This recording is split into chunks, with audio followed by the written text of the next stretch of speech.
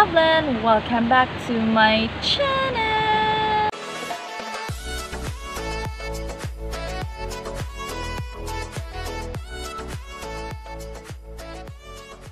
So for today's video guys, ay panibagong video na naman ang i-share ko sa inyo kasi guys, last December 29, 2020 ay nakahuli po kami ng malaking isda.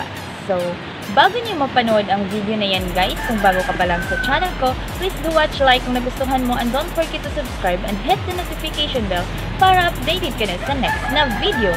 So without further ado, let's watch this!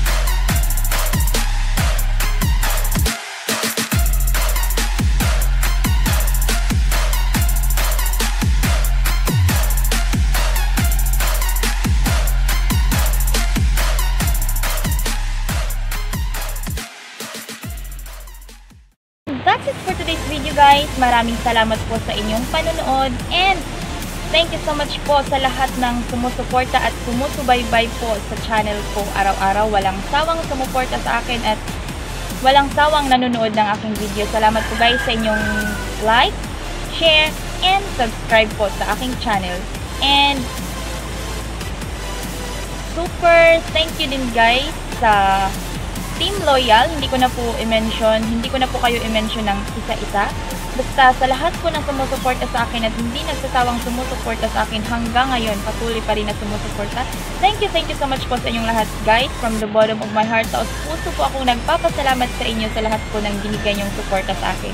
So, that is for today's video guys. Kung meron po kayong gustong i-suggest or ipagawa sa akin para sa next na content, just comment down below. And para naman po sa gusto magpa-shoutout, i-comment na rin po para ma-shoutout ko na kayo sa next na video. And speaking of shoutout, shoutout nga pala kay Joy Malapaho and Sanoy Arvin. Shoutout po sa inyong dalawa. So once again guys, this is Dublin saying, Babush! Bye-bye! Thank you, thank you so much! Mwah!